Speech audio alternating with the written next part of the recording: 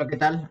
Eh, en esta ocasión les voy a mostrar cómo pueden enviar un, mensaje por WhatsApp desde cualquier aplicación hecho en Java, ¿no?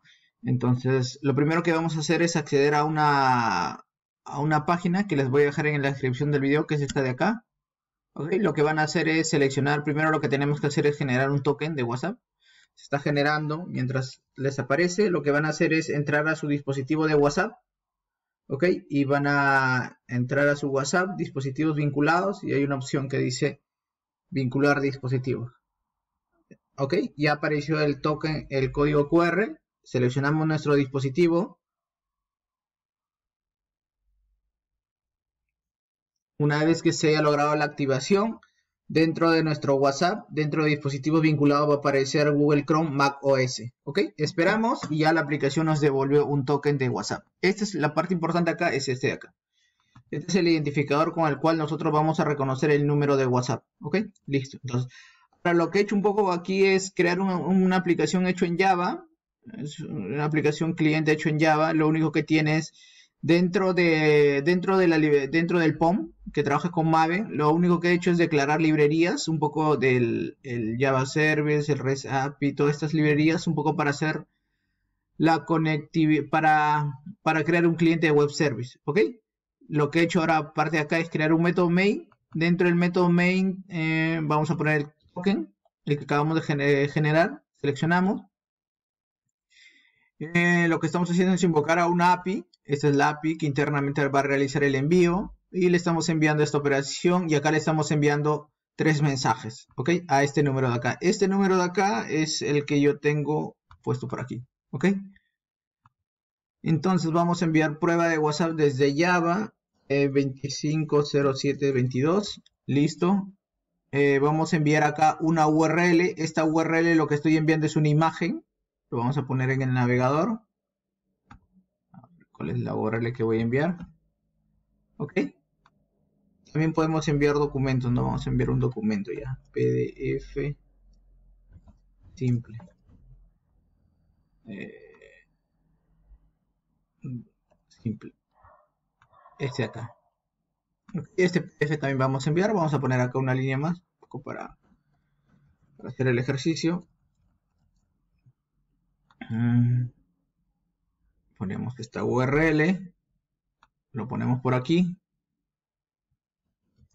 Eh, del tipo URL. ¿Por qué? Porque lo que va a hacer es un poco la aplicación realmente va a descargar este sample PDF y lo va a enviar.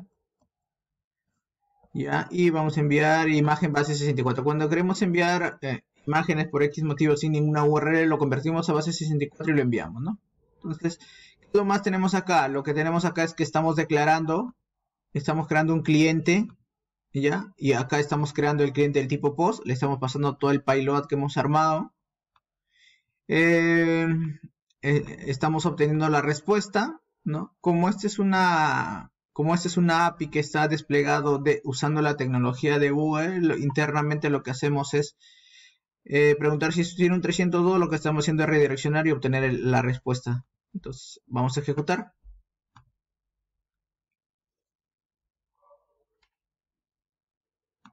Ok, esperamos que nos responda. Ya ese es el payload que le estamos enviando con toda esta información.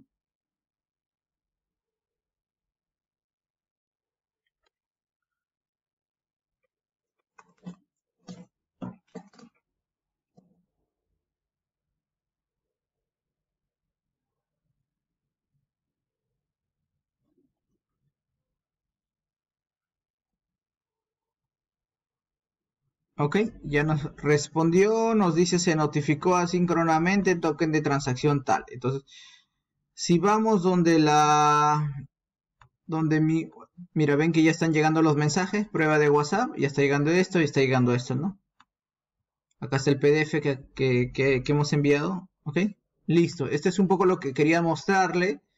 Entonces, dentro de la descripción del video les voy a dejar este código fuente de esta, de esta clase Java. Le voy a dejar el proyecto en sí para que puedan usarlo, probarlo e implementarlo de sus soluciones. ¿Ok? Suerte.